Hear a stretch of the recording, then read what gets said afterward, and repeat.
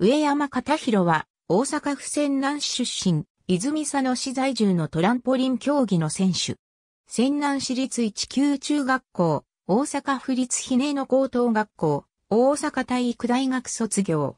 162センチメートル、57キログラム。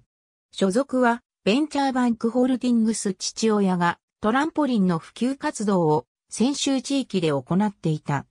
その活動の拠点であった泉南市市民体育館で幼少の頃からトランポリンに慣れ親しんでいた。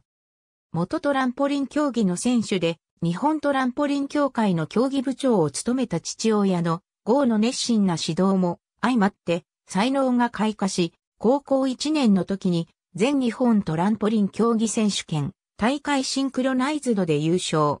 翌々年の同大会では個人で優勝。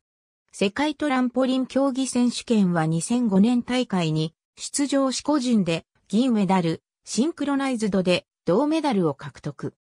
2006年のトランポリンワールドカップでは8戦中5戦で優勝し、ワールドカップ決勝大会で日本人初となる個人優勝を果たした。2007年10月23日現在の国際体操連盟ランキングで上山は357.74点で第1位である。2007年の世界選手権の個人で3位に入ったため、日本トランポリン協会の規定により、北京オリンピックの日本代表に内定した。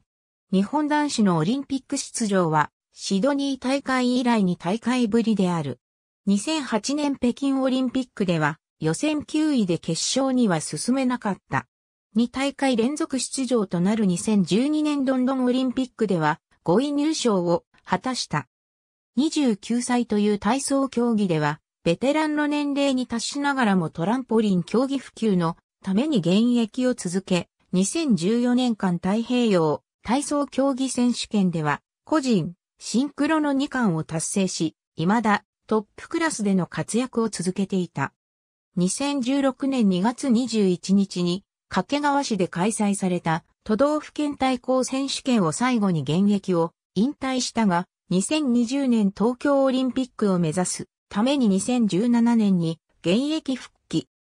2018年5月20日、同年11月にサンクトペテルブルク開催される世界トランポリン競技選手権などの代表選考会を兼ねた全日本年齢別選手権に出場60.225点で優勝したことで世界選手権の代表に決まった。上山は同年8月にジャカルタで開催される2018年アジア競技大会の代表にも選ばれた。ありがとうございます。